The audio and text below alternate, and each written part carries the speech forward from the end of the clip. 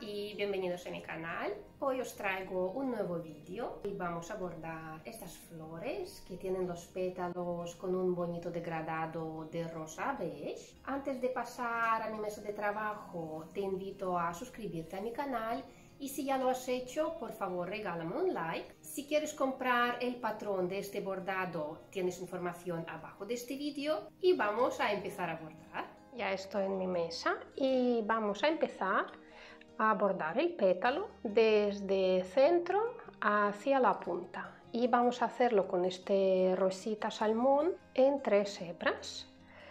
Entonces, ¿cómo se hace? Vamos haciendo primero un puntito en el contorno y otro puntito también aquí en el contorno de otro lado puntitos cortitos ¿eh? después vamos a hacer más o menos en el centro. Esta vez ya pinchando en cualquier punto anterior. Después vamos otra vez al contorno haciendo puntitos pequeños. Y pinchamos a la puntita del punto anterior. Ahora vamos aquí porque aquí tenemos espacio de tela que también tenemos que cubrir y pinchamos también un poquito en cualquier punto anterior. Vamos aquí. Pinchamos en los puntitos. Ajustamos. Hemos llegado a este contorno. Vamos a pinchar también aquí vamos a hacer otro puntito en el contorno. Pinchamos en el punto anterior y así poco a poco vamos cubriendo con este tono de hilo el espacio del pétalo con puntitos cortitos avanzando poco a poco y volviendo pinchando en cualquier puntito anterior. Simplemente tenemos que ir cubriendo todos los trocitos de tela. Aquí otra vez el contorno. Y así vamos avanzando poco a poco más o menos a la mitad del pétalo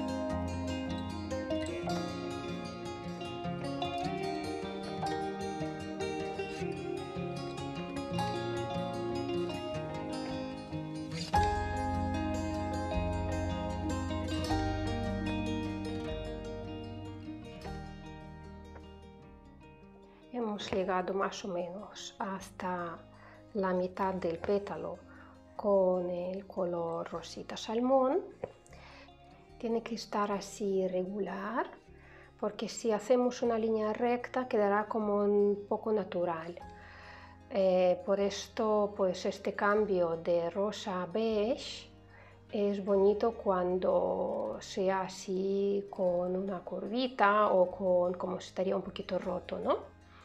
Pues aquí ya vamos a cerrar el hilo en color rosa. Para ello pasamos la aguja por debajo de los puntos. Se forma aquí un ojal y entramos aquí dos veces una otra. Poquito a poco ajustamos se nos forma un nudo y ahora sin tocar tela solo los puntos escondemos el hilo y lo cortamos. Y ahora vamos a por el hilo de color beige también en tres hebras y vamos a hacer exactamente lo mismo cubriendo con este color el resto del pétalo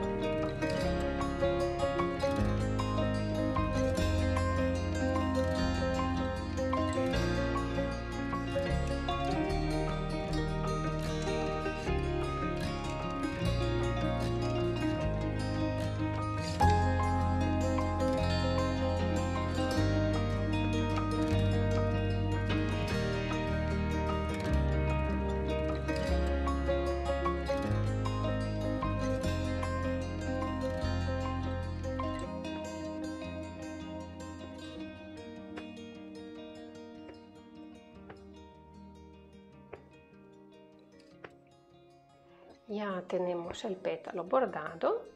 Y ahora con el mismo color beige vamos a hacer nudo francés aquí en el centro de esta florecita igual como aquí. Vamos a hacerlo también eh, con hilo enhebrado en tres hebras pero vamos a hacer nudo en vez de en una punta vamos a juntar dos puntas y hacemos eh, nudito en dos puntas juntas y así tenemos hilo más grueso, eh, tendremos hilo en seis hebras y así las bolitas eh, serán como más, con más volumen. Vamos a entrar en el centro de la flor con la aguja.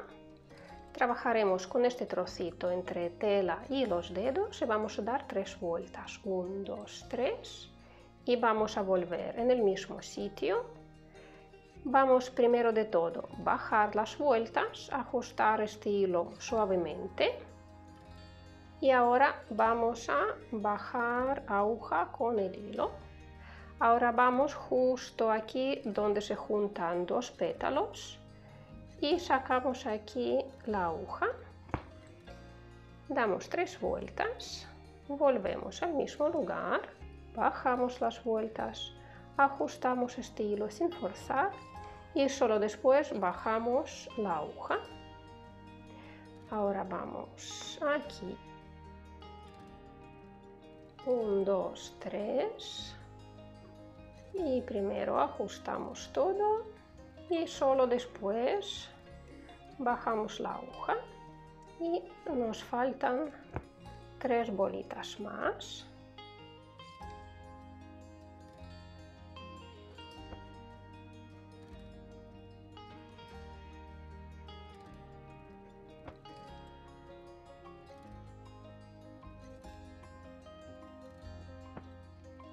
vale. Y ahora vamos a buscar el hilo de color verde. Con el hilo verde en tres hebras también vamos a bordar todo el contorno de las hojas y también los tallos con punto atrás para ello. Vamos a contar largo de unos puntitos bastante cortos como unos 2 3 sí, 3 milímetros como mucho. Eh, para este tipo de punto que vamos a hacer ahora, porque realmente no será punto atrás, es como una base, pues esta base tiene que tener puntitos muy cortos, porque después lo vamos a recubrir con el punto cordón. Así que contamos un puntito corto y volvemos en el mismo lugar del puntito anterior. Eh, tampoco hay que hacer puntos más cortos que 2 milímetros, o sea, más o menos 2-3 milímetros, ni más largos ni más cortos.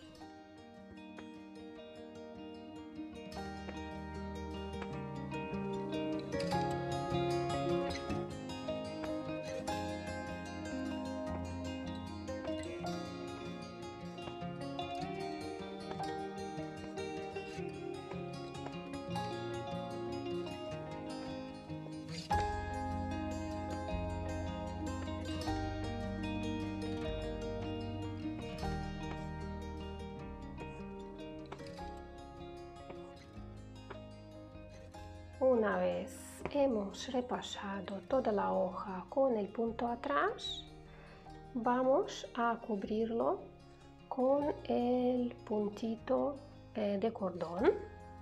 Sacamos la aguja y ahora vamos a pasar por debajo de cada punto con nuestra aguja, siempre del mismo lado. En mi caso voy de izquierda a la derecha y así, si tú has hecho de la derecha a la izquierda, también podría ser. Lo importante es que sea del mismo lado.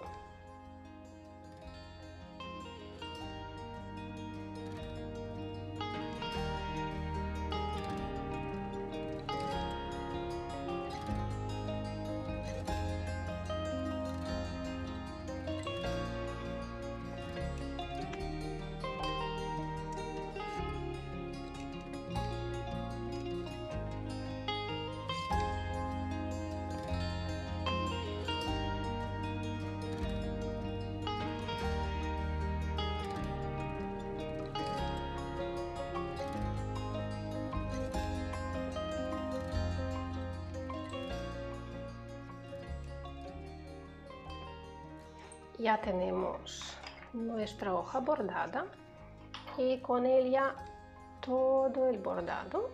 Espero que te haya gustado este vídeo, que has aprendido algún nuevo punto. Muchísimas gracias por acompañarme por aquí y nos vemos en el vídeo siguiente. Adiós.